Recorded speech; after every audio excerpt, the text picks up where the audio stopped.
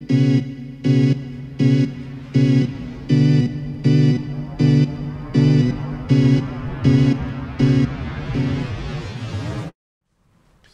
привет, с вами Иван Жданов. Сегодня 18 ноября, 268 день войны. Собрали все самое важное.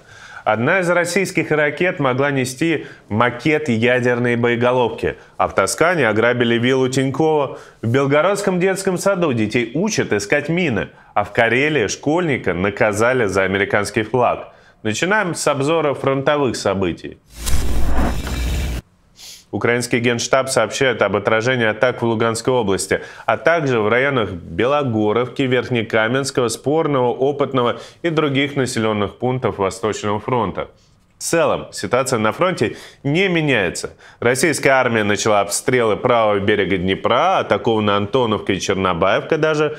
Британская разведка считает, что российская армия перебросит часть войск, отступивших из Херсона на Донбасс, в том числе для усиления наступления на Бахмут. Аналитики отмечают, что путинские части заняты пополнением и переформированием. Российская армия могла использовать макет и ядерные боеголовки в одной из своих ракет. Украинцы обнаружили вот такой обломок, похожий на болванку, так называемый массогабаритный макет, которым заменили специальную боевую часть в крылатой ракете Х-55. Что это такое? Испытание ракеты с потенциальной ядерной боеголовкой или просто ошибка? Может, ракетчикам сказали отправьте 50 ракет – на складе было только 49. Вот взяли еще одну, скрутили боеголовку и поставили муляж, чтобы отчитаться. На самом деле не знаем. Если есть специалисты, может кто-то нам подскажет, что это и для чего это было использовано. Но, к сожалению, остальные ракеты и снаряды, которыми российская армия атакует Украину, не бутафорские. Вновь пострадал Никополь, на город упали 40 ракет РСЗО. А вот такую огромную воронку в Запорожской области оставила какая-то мощная ракета, может, от Искандера. Повреждено здание Дома культуры, местные жители, к счастью, не пострадали. Но так бывает не всегда. Буквально каждый день появляются новости о гибели мирных жителей, часто детей. Украинские власти сообщают, что с момента вторжения уже погибли 433 ребенка, а всего пострадали 1270 детей. Кошмарные цифры, которые показывают невероятный масштаб военного преступления Путина и всей его власти. Но этим маньякам мало, они хотят больше крови, еще войны, убийства и чужих и своих детей. Я считаю, что задача сегодня мамы сделать все возможное, чтобы подготовить своего ребенка. Вот сегодня у нас нет курсов начальной военной подготовки. Вот не сиди у телевизора, вот иди и осваивай. Говори своему ребенку, чтобы сегодня он пошел и э, занимался этим. Учился стрелять, учился преодолевать препятствия, был более выносливым физически. Специальная военная операция закончится не завтра. Мы не знаем, что будет завтра. Это актриса Ольга Будина. Она может быть вам известна по роли в сериале «Граница. Таежный роман». Была там помоложе. Неплохая актриса была. А теперь маньячка, расхваливающая войну. Вот буквально. Люди, стрелявшие в наших отцов, строят планы на наших детей прям. Как минимум 13 тысяч человек из Бурятии находятся в зоне боевых действий в Украине. Об этом сообщило правительство Бурятии на своей странице во ВКонтакте и Одноклассниках. Военнослужащим отправят более 13,5 тысяч новогодних подарочков. Сто из них передадут в военные госпитали, где находятся раненые солдаты из Бурятии.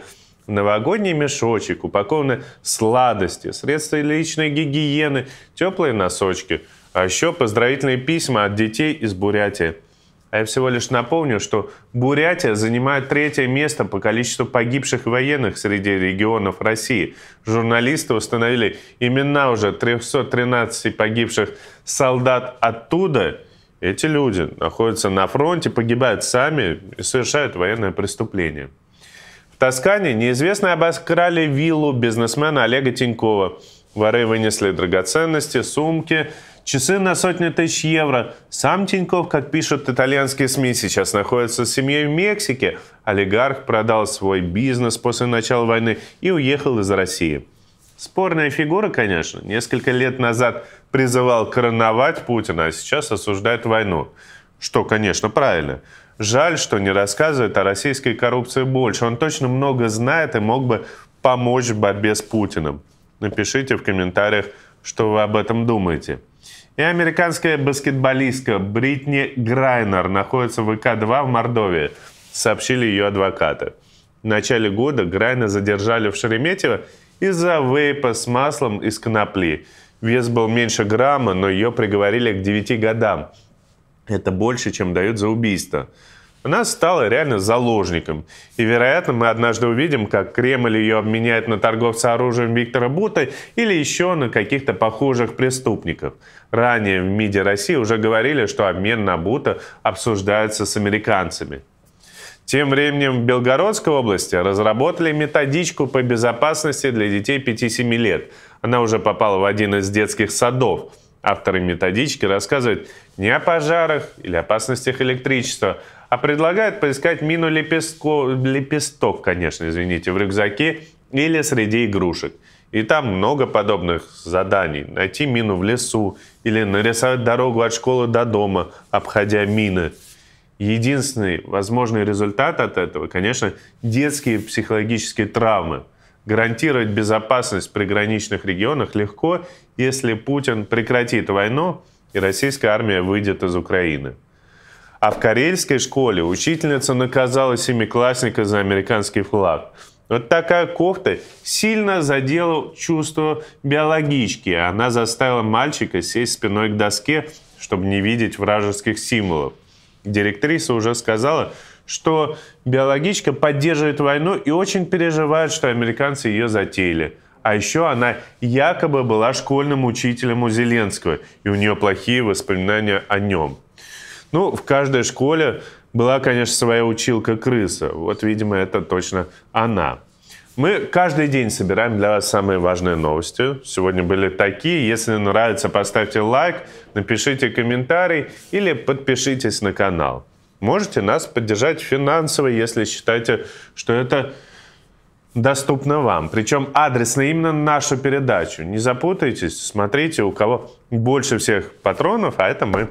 А вот те, кто уже нас поддержал, справа есть как раз списочек с никами тех людей, кто пожелал остаться известными, кто пожелал остаться неизвестными, не показывается тут. Мы благодарны, что таких людей становится больше. Смотрите нас, пожалуйста. И завтра увидимся в военном положении. thank you